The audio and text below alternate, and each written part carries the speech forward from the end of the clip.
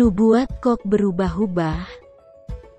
Tonton 7 video Daud Tony untuk Indonesia tahun 2023. Untuk menyampaikan nubuatan bagi masa depan Indonesia tahun 2023, yang kata Daud Tony mendapat pesan khusus dari Tuhan tahun 1997 saat Daud Tony dipanggil ke sorga. Maka dibutuhkan banyak sekali video untuk menjelaskannya. Selamat menonton 7 video Daud Tony. Silahkan direnungkan. Silahkan disimpulkan sendiri bagaimana kualitas pembicara yang Anda kagumi. Tuhan Yesus memberkati. Ekonomi akan berhenti. Untuk menuju tahun 2023, awal pemulihan Indonesia. Nah, di situ Tuhan memberi saya pesan khusus. Nah, untuk umat Tuhan di Indonesia, terutama di Pulau Jawa.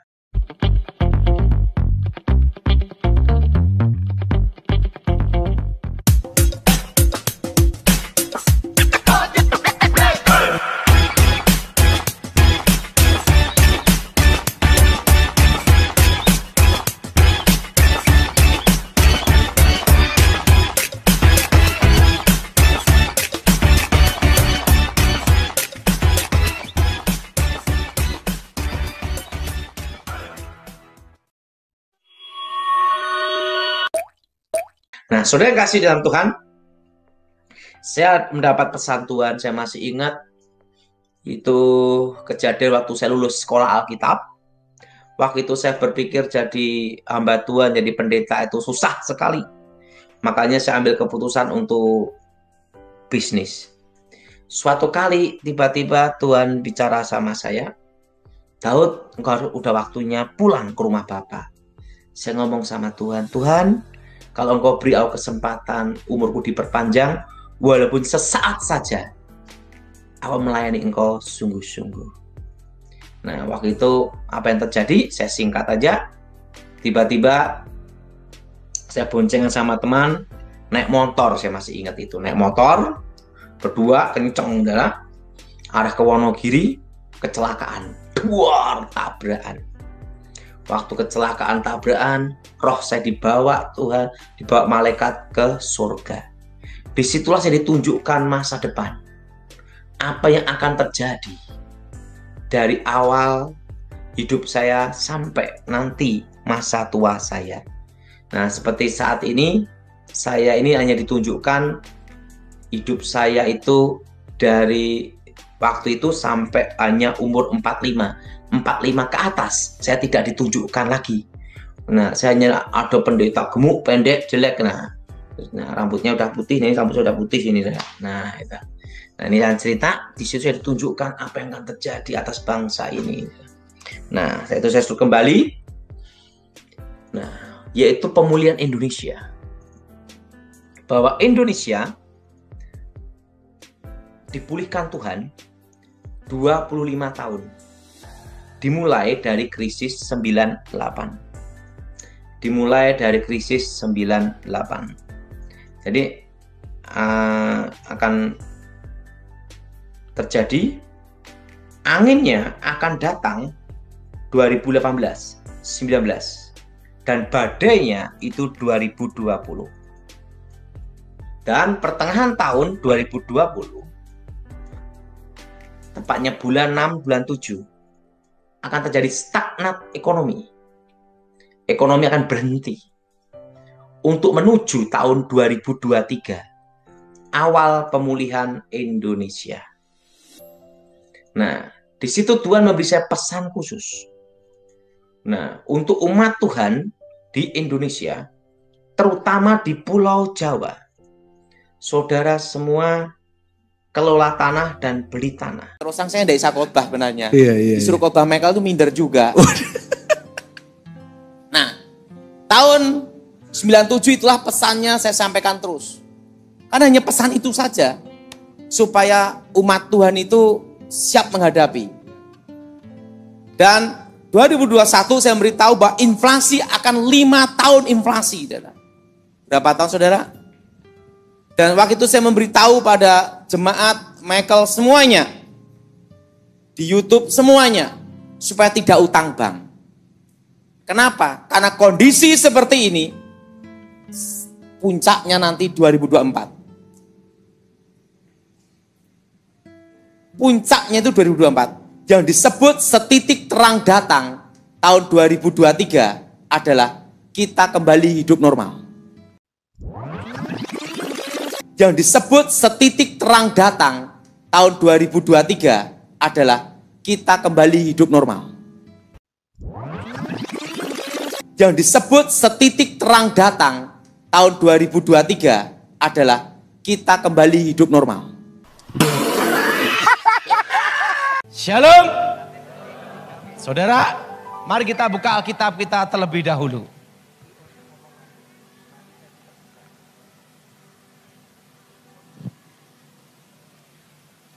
Kitab Yeremia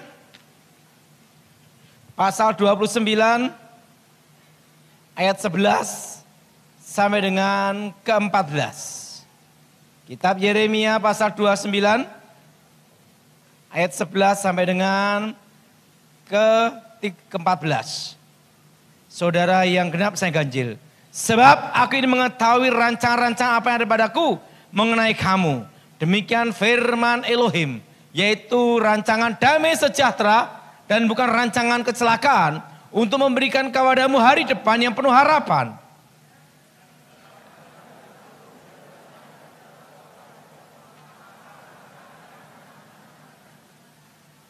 Apabila kamu mencari aku, kamu menemukan aku. Apabila kamu menanyakan aku dengan segenap hati.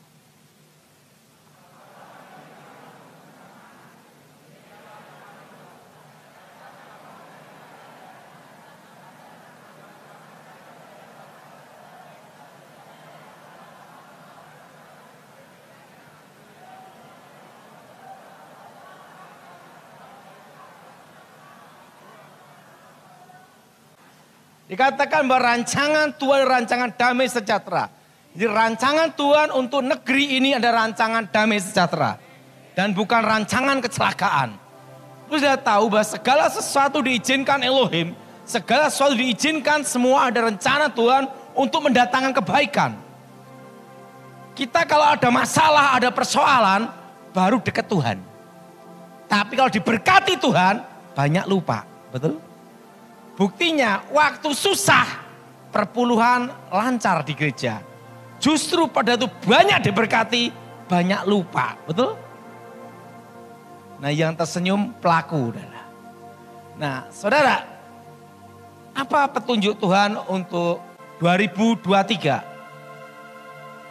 Tahun 2021 saya memberitahu bahwa tahun 2022 tahun ini kita belajar normal. Ini ikutin saya semua, belajar normal. Belajar apa saudara? Normal. Dan saya memberitahu bahwa Januari setitik terang datang. Apa saudara? Setitik apa? Terang datang. Pada waktu saya berkata setitik terang datang, di YouTube itu viral. Bahkan ada yang mengkritik. Presiden saja berkata, tahun depan dunia gelap. Betul? Betul? Betul? Presiden berkata tahun depan gelap. Betul?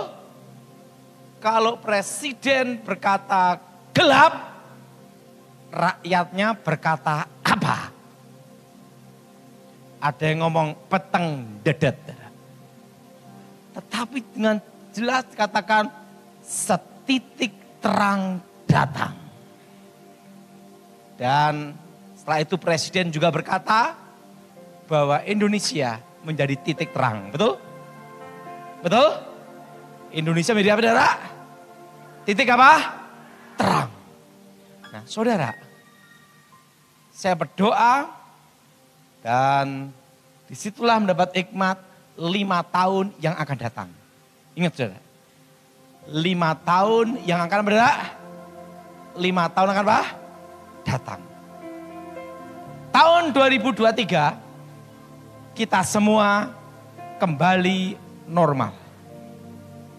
Ngomong sebelahnya, kamu normal. Bukan edan. Ingat, Januari kita kembali normal. Apa saudara? Kita kembali apa? Normal. Saya doa, saya bingung. Apa yang disebut setitik terang itu akan terjadi sampai dua tahun untuk Indonesia. Saya mendapat jawabannya Kenapa ada setitik terang? Karena ada pilihan presiden. Ada kampanye. Pilihan gubernur, pilihan bupati, pilihan DPR MPR, legislatif. Betul? Betul? Betul? Betul? Tahun depan sudah mu mulai. Betul? Yang jual baju, yang konveksi laku. Baju kampanye. Betul? Betul? Betul? EO EO laku, event organizer laku. Artis yang laku tidak laku jadi laku.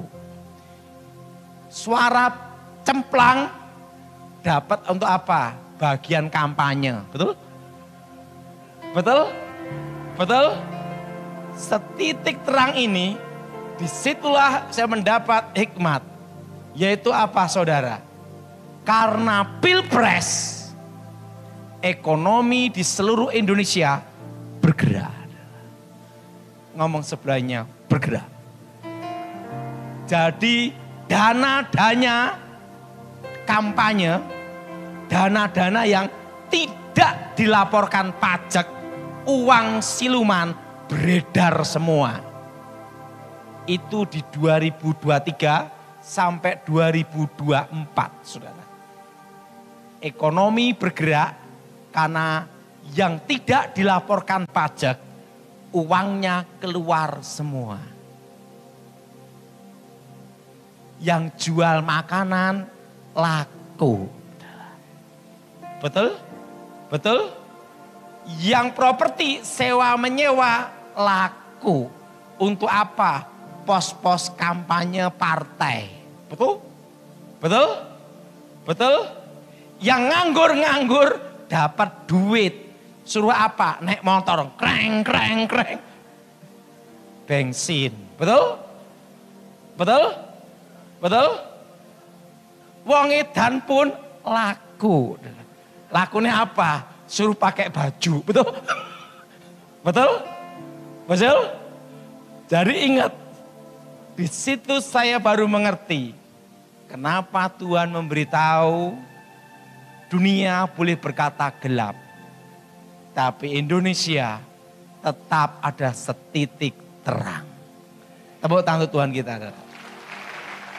Apa pun yang terjadi, gak usah khawatir untuk tahun 2023 Nah, seperti yang saya beritahu semua di Zoom semua dari tahun 2020 ya.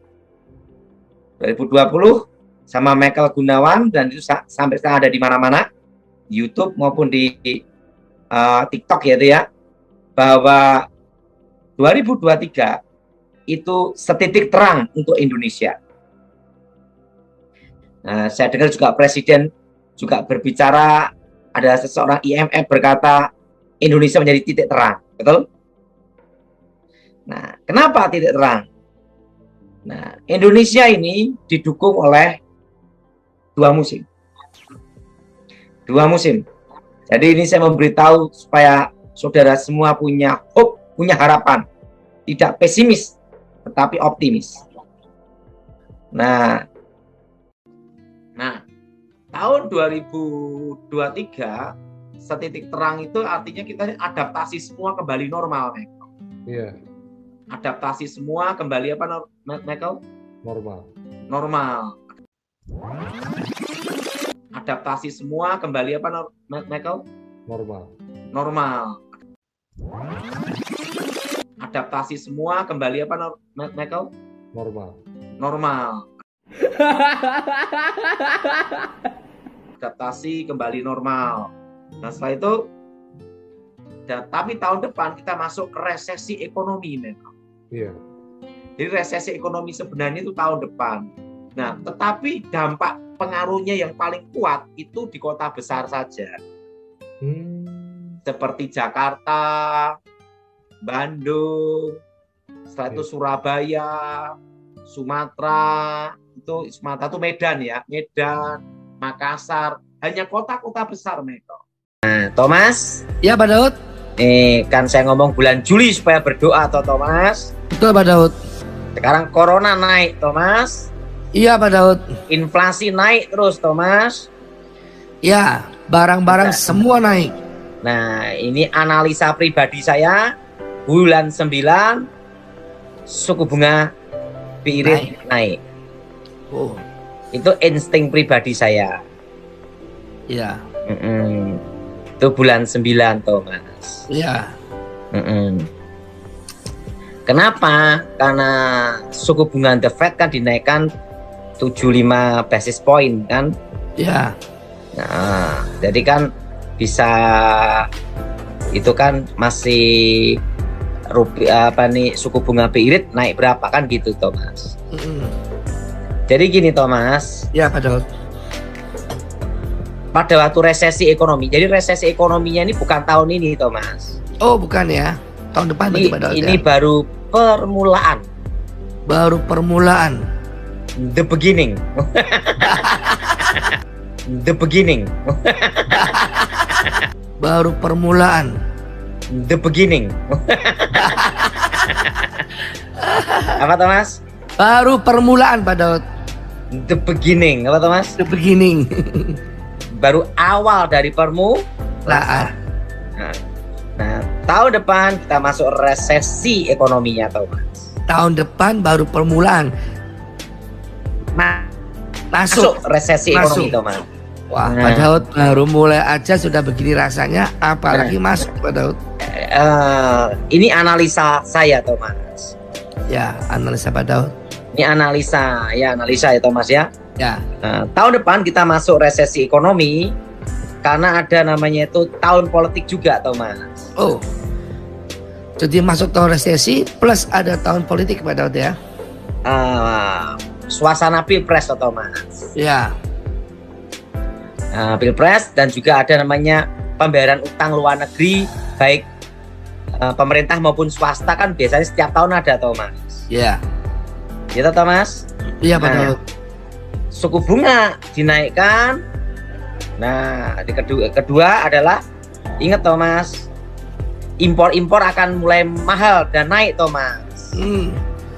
Kenapa naik Thomas? Karena impor-impor itu naik. Kenapa Thomas? Karena harga BBM naik Thomas.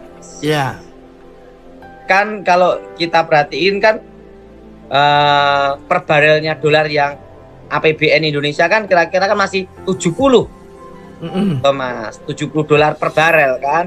ya, Sekarang sudah berapa? 100 dolar lebih kan Thomas? ya, 100 berapa? Saya enggak kurang jelas Thomas. ya, Nah, berarti kan naiknya 30% Thomas. ya, Nah, kalau negara subsidi terus, negaranya yang berat, Thomas.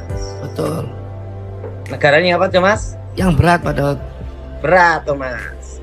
Tidak subsidi, rakyatnya yang pusing. Berat. Nah. Jadi, karena karena kalau BBM naik, subsidi dicabut, semua pasti naik, Thomas. Langkah pemerintah itu gimana? Nah, kan gitu, Thomas. Ya, Nah, makanya harus ada namanya ketahanan pangan, Thomas. ya, Nah, dan bunga ini akan naik prediksi saya sampai 2025. sampai 2025 Pak Daud ya. Wah, Iya.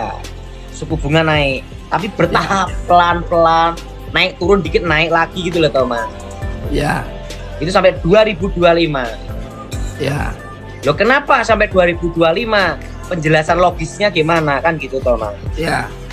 Karena 2024 itu ada namanya transisi presiden Thomas. Hmm. Pergantian presiden ada masa transisi toh Thomas. Ya. Ada perlu kebijakan, perombakan, perubahan, kan ada secara bertahap Thomas. Betul. Nah di situ mempengaruhi sekali baik politik maupun strategis untuk bidang ekonomi Thomas. Ya. Nah itu nanti ada di 2025. Hmm. Nah dan 2026 mulai ekonomi bertahap bertahap untuk menuju perbaikan. Dan 2026 mulai ekonomi bertahap bertahap untuk menuju perbaikan.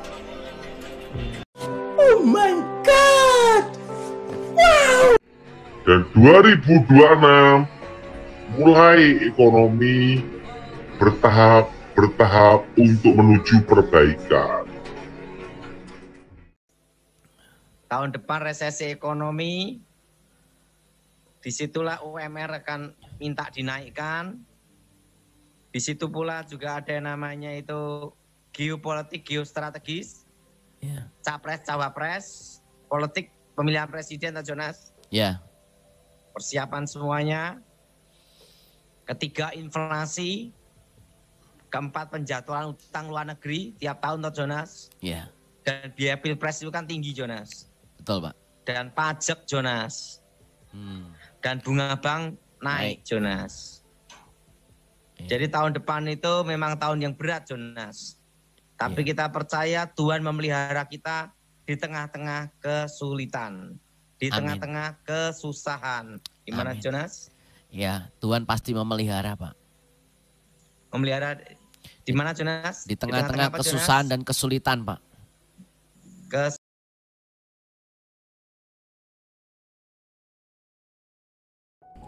Shalom kepada semua penonton video saya. Jika Anda merasa terberkati dengan video saya, jangan lupa bantu like dan share ke semua saudara-saudaramu.